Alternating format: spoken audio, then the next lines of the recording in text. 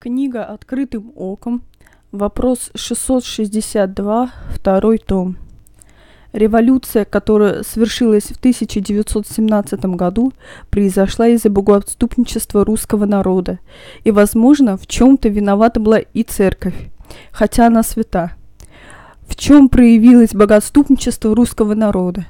Русь называлась святой, в чем же ее святость?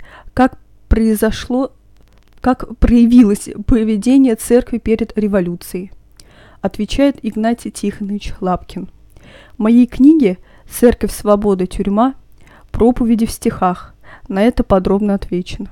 В другой книге «К истинному православию» в письме Григория Петрова это было отвечено именно тогда, перед революцией – там есть изречение Феофана Затворника о том, что священники как слепые, ничего не видят, что совершается у них в приходе, что народ не научен, Слово Божие сокрыто. В этом народе зарождаются ереси, смуты, мятежи, и когда-то священника, до священника это доходит, что дом уже охвачен пламенем.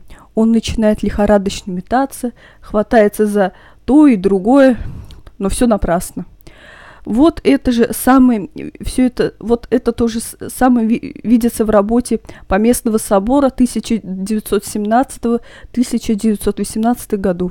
Вынесены решение о признании русского народного разговорного языка, что на нем можно совершать богослужение, что миряне должны проповедовать, быть миссионерами, что должно быть что должны быть создаваемы живые общины из возрожденных душ. Эти решения принимаются под грохот, канонады и штурм Кремля, когда делегаты съезда получили известие о зверской расправе над митрополитом Владимиром и другими. Серафим Саровский три дня и три ночи спрашивал у, Бога пощады русским священникам и архиереям, почему Бог не дал положительный ответ, но кратко изрек «не пощажу и не помилую». И далее Бог объясняет причину грядущего поражения русской православной церкви за то, что слово мое замен... заменили вымыслами человеческими. Жертвы, потери, понесенные церковью, несчислимы. Такого поражения никто не знал – как будто угрозы всем церквам, изреченные в апокалипсисе, пролились на русское православие. Но самое страшное даже не в том, а в том, что церковные деятели ровным счетом ничему не научили и снова повторяют предреволюционную ситуацию один к одному. Нет проповеди живого Слова Божия, снова вцепились в церковнославянский непонятный мертвый язык. Всюду везде виноваты жидомасоны, но не мы.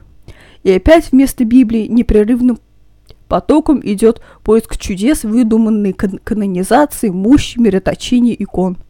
Бог таким людям угрожает окончательным истреблением, помрачение э, русского народа, вероятно, неисцельно, и во всем этом виноваты священнослужители. Читайте библейских пророков и Божьи угрозы отступникам от закона – Иеремии 23.11. «Ибо и пророк, и священник лицемеры. Даже в доме моем я нашел нечестие их, говорит Господь».